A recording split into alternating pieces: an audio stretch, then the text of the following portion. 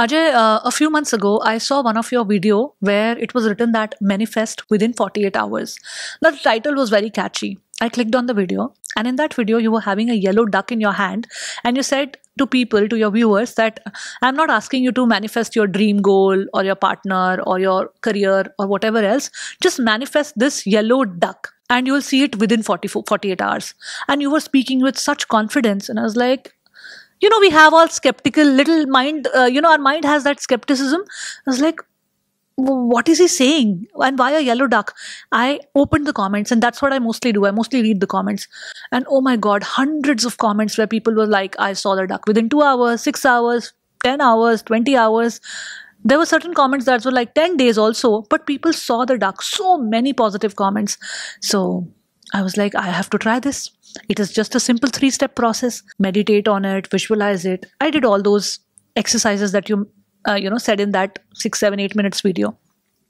I manifested that, brought it in my visualization, and then I forgot about it because it was not so important to me also right but within two days like one day after next to next day i was crossing through the airport and i saw the duck a similar duck in a gift shop and i was like oh my god how is this even possible? This works.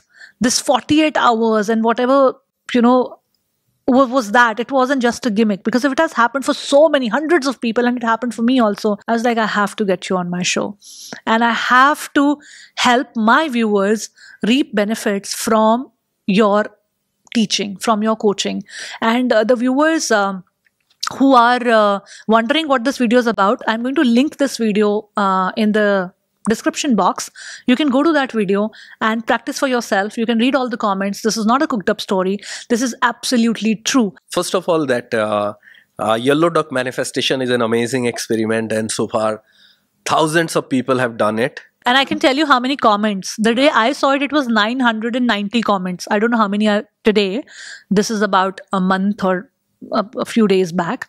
So yeah, that was the t- status. So literally a thousand comments, and most of them, I think all of them positive. What are the ingredients to this process of manifestation, and how can I manifest the life of my dreams? So first of all, when we talk about manifestation, manifestation is about bringing something into reality. How manifestation works, we need to understand that our thoughts become our feelings, or feelings drive our action and our action create the result. This is how we create anything in our life. But most of our, most of us has been programmed from childhood to focus on only the last step the action. Do hard work study well do this action do that action and that will create the result. But even if we are working hard or even if we are taking action but if the first thing is not right like the thought process is not clear not right not aligned then we cannot manifest. So now coming to the process of manifestation. First what we have to do we have to set our vision clearly. We should have a vision. We should have a goal clearly. Like what we want what i want at this point of life maybe for next year maybe for next 3 years in different areas of life what kind of life i want to lead? First i should have that clarity. Then i have to check my belief if i can like what kind of beliefs i'm carrying whether I'm feeling positive about this area or this manifestation or this goal, or I am feeling scared or I'm feeling doubtful, or I have picked up some goals which are not even mine from other people. Uh, like it is said, we have to dream, we have to believe, we have to let go, let go of the resistances like the negative beliefs. We have to take action and then we manifest. Ajay, what would be your uh, top three tips you know what would be your three tips to be in a better alignment with your own true self your inner self? One of the best way to get it into alignment is meditation meditating on a regular basis. It won't get you aligned directly but it gives you that time or that energy to think and understand what you are doing, what you really want, what you don't want, what you picked it from other people, what is that shiny object syndrome if you are going through or if you are really coming from deep within. Because when you calm your mind, you get to hear the right thing. So one is for alignment, one of the most important thing is meditation. The second thing even meditation helps you is to release lot of negative baggages that you are carrying and you are always living in a chaos and you don't want to be aware about it. So one is meditation. Second is visualization or imagination where you actually start to see those things happening.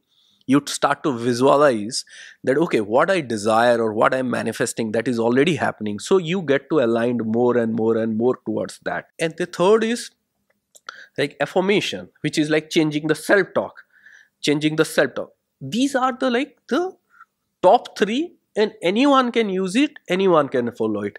Apart from that there can be many other tools which can bring you alignment depending upon if you are very much interested in certain kind of tool. Like for example if you love to practice gratitude so gratitude can bring you alignment because you are focusing on being grateful of whatever you have what you desire. I have some people in our academy uh, on uh, big manifestation that there are some people who have manifested everything only through gratitude they don't apply any other tool You know, uh, you're talking about gratitude, and that is my next conversation. Most of us are jumping from one manifestation to other. We have made a web of manifestation around ourselves. There are so many things that we want in our lives, and if one thing doesn't come true, we jump to the other, then we jump to the next one. Now, this constantly manifesting also is making us not so happy and satisfied with our current reality.